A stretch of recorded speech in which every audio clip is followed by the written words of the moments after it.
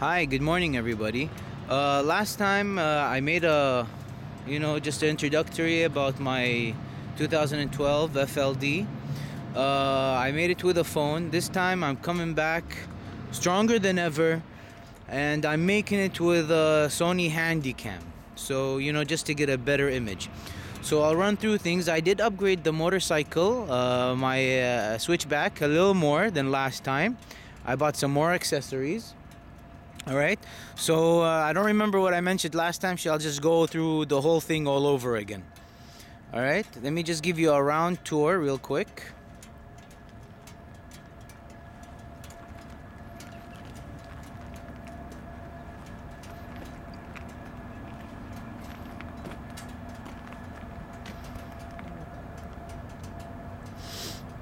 All right, you know what? I'm thinking just to make it simple and short, let me just go ahead and tell you right now instead of taking for a tour and then through everything again.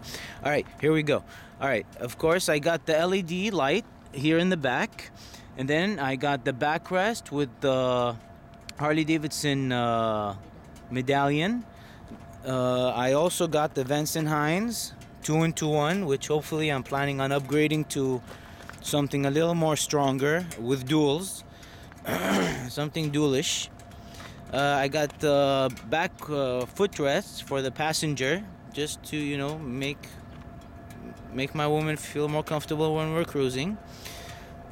I got the Harley Davidson uh, highway pegs, Harley Davidson uh, brakes, the heavy breather with the twisted cover.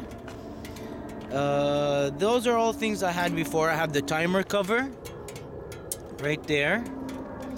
What else? Uh, I got the wind air deflectors. The what's it called? The engine uh, heat deflector. I also got a single seat, but since I'm out with my girl cruising around, so that's the best place to put her is on a seat. All right, good. And I also got the derby cover. I went with the same uh, design as the engine. I got the Screaming Eagle spark plug cables in red. And then I got the shifter peg, the shifter thing, peg, thingy thing thing. Also, same design, same style. These are all things I've had uh, before.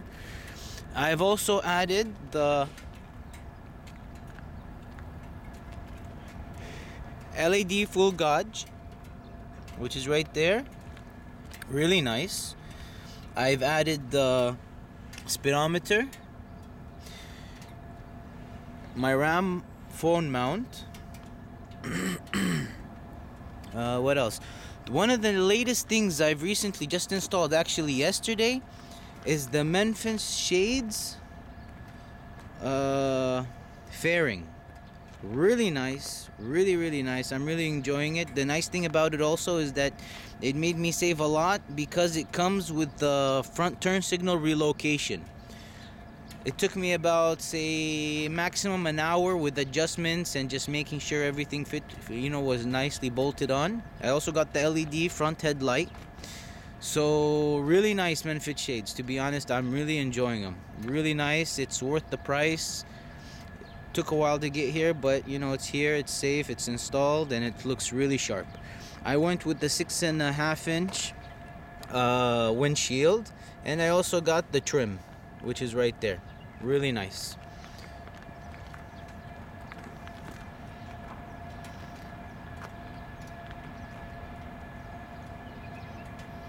Just take you for a you know tour around show you what it looks like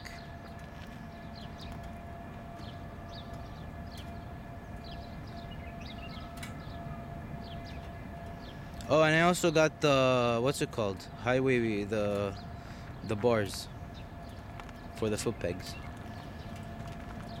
Or foot pegs for the bars.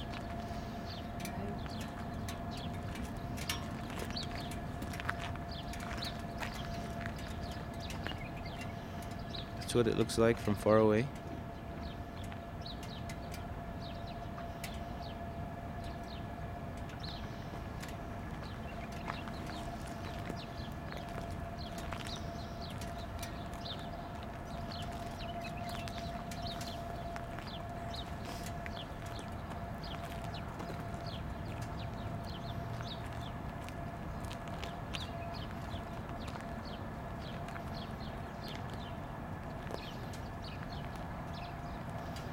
I did buy uh, the LED lights from Kuryakyn, but unfortunately, to be honest, I switched them on during the day and they don't they're not too visible, so I ended up removing them and going back with the OEM uh, halogen lights that came with the bike.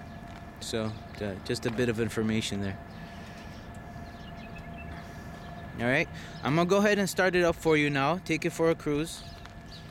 You know, just show you what it looks like from a distance.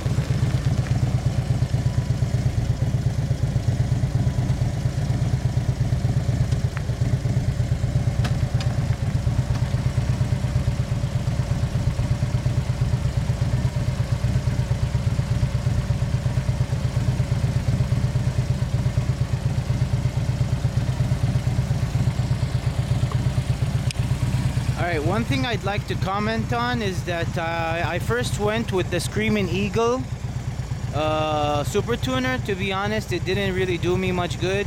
I mean, it's not the super tuner, it's just, I guess, the local Harley Davidson dealers didn't know how to properly tune it.